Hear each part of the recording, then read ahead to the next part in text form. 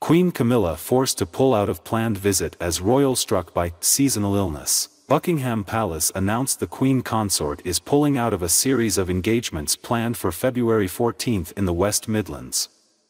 The reason behind this cancellation, the palace said, is that Camilla is suffering from a seasonal illness. The engagements lined up for tomorrow will be rescheduled at a later date.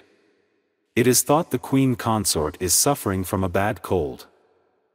Camilla was due to travel alone to the West Midlands on Tuesday to pay tribute to the 100th anniversary of the Elmhurst Ballet School in Birmingham.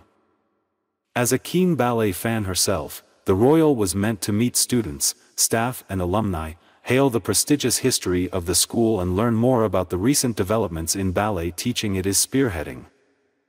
Camilla became patron of the school in 2006, one year after she got married to King Charles and received the title of Duchess of Cornwall.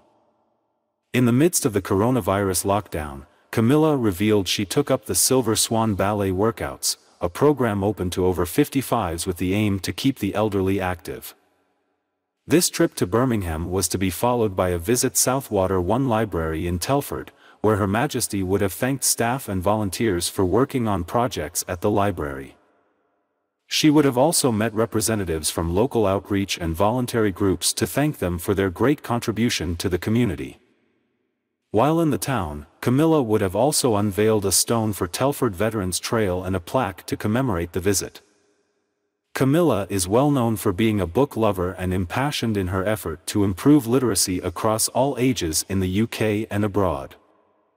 She is patron of several organizations with this aim, including Book Aid International, which she visited earlier this month, and the National Literacy Trust. In early 2021, she also launched her very own book club via an Instagram account called The Reading Room. The Instagram account, which was later accompanied by a fully fledged website, included Q&A with authors, a reading list released every season and recommendations from people close to the royal, including her son Tom Parker Bowles and Kate, Princess of Wales. The 75-year-old royal is reportedly hoping to be able to undertake the engagements in her diary over the rest of the week. On Wednesday, she is scheduled to host a literary reception at Clarence House, linked to her work on literacy and books. The following day, she is still scheduled to join King Charles at Milton Keynes, a visit planned to celebrate its new city status.